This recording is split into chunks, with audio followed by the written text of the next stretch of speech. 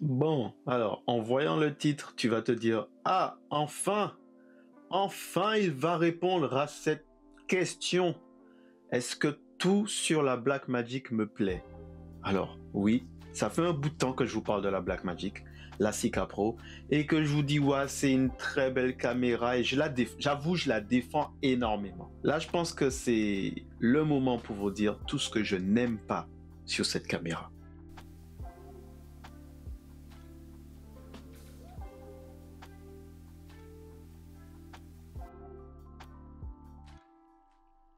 Yo la Flow Family, voilà.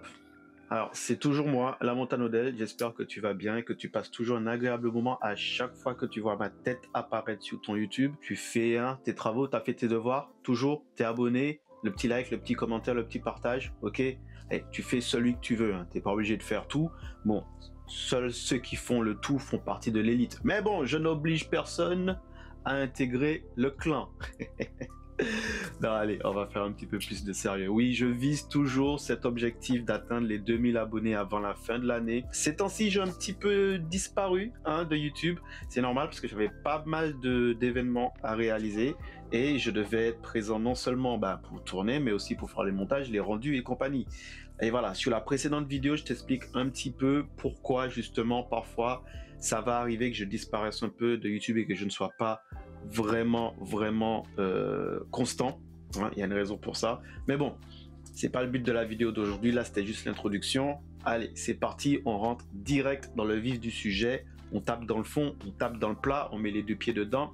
C'est parti, la Blackmagic 6K Pro. Donc déjà à savoir, c'est que c'est une caméra qui se dit entrée de gamme pour le milieu du cinéma. Ok, c'est pas une caméra pour faire du cinéma, qu'on reste bien calme, hein, je te vois déjà dans tes commentaires, mais c'est une caméra qui peut te permettre de t'approcher par rapport à la manière qu'on fait dans le milieu du cinéma, dans le fonctionnement, dans la méthodologie et compagnie. C'est une caméra qui peut t'y emmener beaucoup plus simplement et beaucoup plus rapidement, selon moi, bien sûr, tout cela est selon moi, que la plupart des autres caméras. C'est que là où moi j'ai vu énormément d'avantages de cette caméra, c'est là où tout le monde a pointé les inconvénients. Et c'est vrai que quand tu fais la liste en 2024, comparé aux boîtiers qui sortent, la Blackmagic 6K Pro peut avoir énormément d'inconvénients par rapport aux nouveaux boîtiers qui sortent.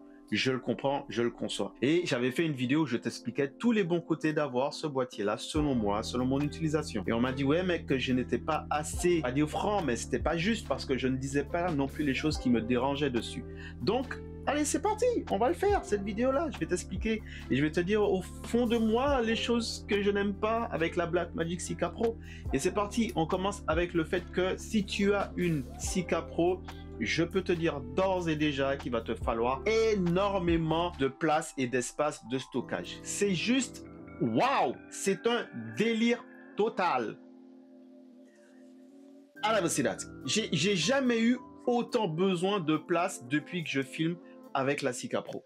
Faut dire que d'habitude, je suis sur le GH5 ou le Sony A7R3. Ok, tu vois, donc les fichiers sont lourds, mais ça va. Si tu filmes avec le GH5 en C4K, 100 MBS, hum, un fichier de 1 heure peut te faire dans les 60 gigas à peu près comme ça. La Black Magic, bon gars, quand je finis un tournage, un truc simple hein, où j'ai filmé même pas en plus grosse qualité, on va dire que j'ai filmé en 4K avec une compression, je crois que c'est... Euh, attends, je vais le regarder directement parce que je me souviens pas forcément de tout, hein, ok? Il n'y a pas de batterie. Euh, où sont les batteries? Ok, il y en a une ici. Je me souviens pas forcément euh, de tous les réglages de tête là comme ça. Mais je sais que j'avais filmé en 4K, pas une très grosse compression en termes de voilà en termes de compression, et que le fichier que j'avais eu au final.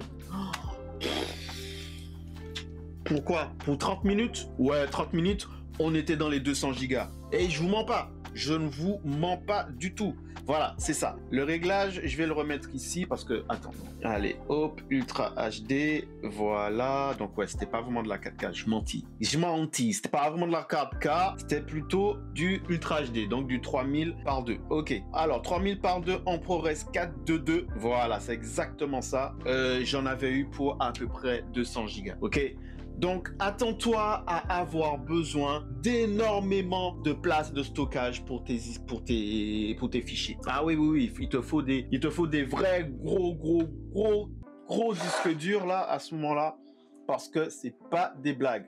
Alors, quand je suis en 6K, je te dis même pas. Quand je filme en 6K full qualité, euh, je remplis carrément mon disque dur qui est ici là, mon T5, le T5 portable voilà que j'utilise SSD. Euh, c'est sur celui que je tourne la plupart du temps sur mon Blackmagic, je le remplis. Ok, c'est clair, c'est net, t'as capté, je le remplis, c'est pas la peine. Pour pratiquement une journée de tournage, je le remplis. Donc euh, on peut on peut monter. Qu'on soit bien clair, quand je dis que je le remplis, c'est que je peux toucher les 600 700 gigas, ok, et il reste toujours un peu de place pour travailler sur le disque dur.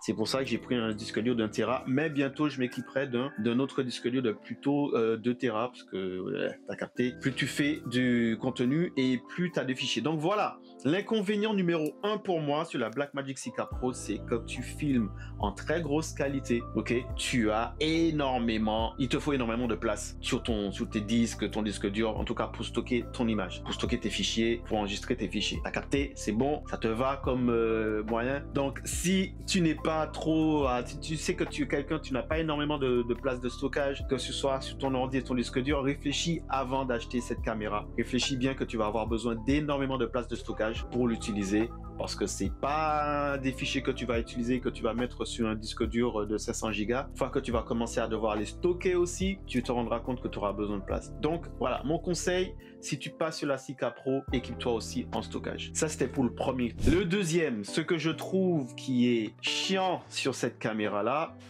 ben en fait les gars, je vais pas vous mentir, c'est la seule chose que je trouve qui est chiant sur la 6K Pro. Et, en fait, en vérité, pour moi, je trouve même pas que ce soit chiant. Je, je trouve même pas que ce soit chiant. Vraiment, les gars, c'est la seule chose que je trouve qui est embêtant. Et au final, non, puisque parfois, sur certains événements, je peux carrément rester en 4K ou passer en HD et la qualité est superbe parce que le résultat euh, de la qualité d'image de cette caméra me bluffe toujours. La facilité de traiter le fichier en colorimétrie sur DaVinci, c'est vraiment une caméra. J'ai rien à dire dessus, les gars. Je suis désolé. J'ai rien à dire dessus. Ok, vous voulez que je vous dise que il est trop lourd? Ouais, c'est vrai. Alors oui, c'est vrai. Par contre, c'est vrai. Cette caméra là, elle est lourde, sa mère la poule. Ouais, je vais pas te mentir, ouais, elle est lourde. On va, mettre ça en deuxième. Elle est vraiment lourde. Euh, surtout quand tu l'équipes et tu l'as riguée, elle est balèze, sa mère. Oui, d'accord. Mais en même temps, quand on parle de caméra cinéma, on t'a vraiment... Attends, t'es d'accord avec ce que je suis en train de te dire? C'est une caméra pour entrée de gamme, on va dire, pour toucher un petit peu le milieu du cinéma. Tu t'attendais vraiment à ce qu'elle fasse, le poids d'une caméra, une GoPro? Faut pas déconner non plus, les gars. Eh, je suis d'accord que oui, la technologie évolue, machin et tout ça, ils auraient très bien. mais les gars, pour le prix qu'il vous donne. Vous pouvez pas vous attendre à, non plus que ce soit en fibre de carbone allégé euh, à la damantium, je ne sais pas quoi. T'as capté le bail. En fait, il faut être assez logique dans ce que tu demandes en tant que client et de ce qui de ce qu'on te fournit et ce que te fournit justement euh, la marque. Donc réfléchis beaucoup. Alors avant de dire que telle et telle caméra n'est pas bien, n'est pas bonne, réfléchis plutôt à ce que tu as besoin. Tu vois? Parce que là, c'est pas que la caméra n'est pas bonne, c'est que as pas besoin. Elle ne répond pas à ce que tu as besoin. Donc ça fait pas une bonne caméra dans tes mains. T'as capté ou pas? Donc oui, elle est lourde, elle est grosse, elle prend de la place. Mais c'est une caméra qui se dit cinéma. T'as vu la taille de la Harry? Ou bien même, ok, j'avoue, la Red Komodo, ok, tu m'as eu sur le point. Tu m'as eu sur celle-là. La Red, ok mais tu parles d'une vraie cam. Regarde le prix de la, regarde le prix de la Red Komodo et compare le prix de tout ce que tu as avec la Blackmagic 6K Pro. Tu vois? Donc les gars, il faut qu'on soit. À bout d'un moment, faut arrêter là. Moi, franchement, ça commence à me saouler les vidéos de comparaison euh, la Black Magic comparée à la Sony ceci cela et tout. Oui, celle-là, l'autofocus, euh, elle est plus légère. Euh, tu peux mettre dessus. Ah, vas-y, arrête, arrête avec ça. Si tu aimes Sony, prends Sony et puis fiche-nous la paix, quoi. Mais, franchement, est-ce que moi, je vais passer mon temps à faire des reviews sur BMW parce que j'aime Audi? En disant regardez la propulsion c'est de la merde, la propulsion ça sert à rien.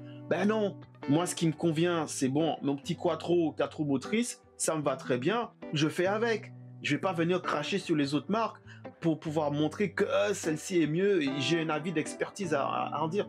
On s'en bat les steaks de ton avis. T'es même pas expert dans le domaine. t'es même pas expert dans le domaine. Alors, si vous voulez me faire une comparaison avec la Blackmagic et d'autres boîtiers, alors je serais plus d'accord pour ceux qui font les comparaisons et eux, je les trouve super intelligents sur la plateforme YouTube. Les autres, pour moi, pardon, hein, mais vous êtes juste là pour faire du fric et juste là pour faire des vues parce que vos comparaisons n'ont aucun rapport logique.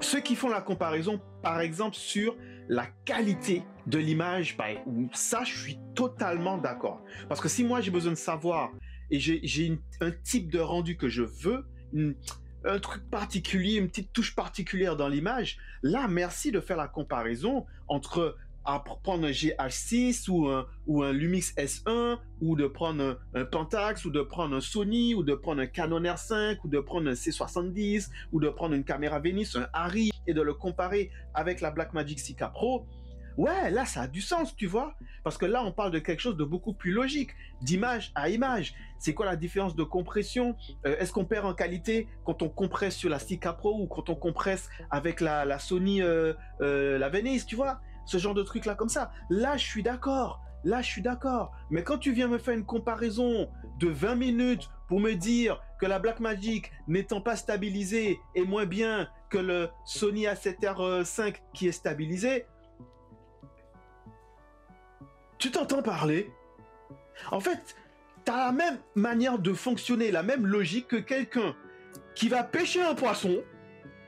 Tu as un gars, il pêche un poisson, il le sort hors de l'eau, il le pose sur une table, il attrape une mouette, il pose la mouette à côté et il dit ceci. Alors, ça fait 20 minutes qu'on est en train de filmer et le poisson, il est déjà mort. Couillon va tu l'as sorti de son élément. C'est normal qu'il ne puisse pas vivre. C'est normal. Et en plus, tu le compares avec une autre espèce qui ne possède pas les mêmes caractéristiques. Entre le poisson et toi, le plus débile, c'est toi pour l'instant. Donc tu vois, ce genre de, de, de, comparaison, ah, je trouve pas l'intérêt. Parce que de base, on vous a déjà dit que l'appareil n'est pas stabilisé, qu'il ne fait pas d'autofocus.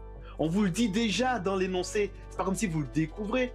Par contre, tu peux me le dire en mode, ok, si tu cherches à faire de la vidéo run and gun, si tu cherches à ce que tes images soient stables, si tu cherches à avoir un autofocus rapide, ne prends pas la Blackmagic parce qu'elle ne possède pas ces caractéristiques. Tu vois? Et là, tu peux faire la comparaison en mode, regarde, si tu prends la Blackmagic et tu prends par exemple un Sony S7R3 ou un R5, comme celui-là, il a la stabilisation. Si tu l'utilises en run and gun, même avec une rig, euh, un handle mode, qui veut dire à main levée, voilà ce que tu peux avoir avec une caméra stabilisée et voilà ce que tu auras avec une caméra non stabilisée. Ça, c'est une belle comparaison intelligente. Mais de là à venir me dire, alors, la Blackmagic 6K Pro n'est pas une bonne caméra parce qu'elle n'est pas stabilisée a priori, c'est mieux de prendre un Sony ou un RS5 par exemple parce que c'est stabilisé.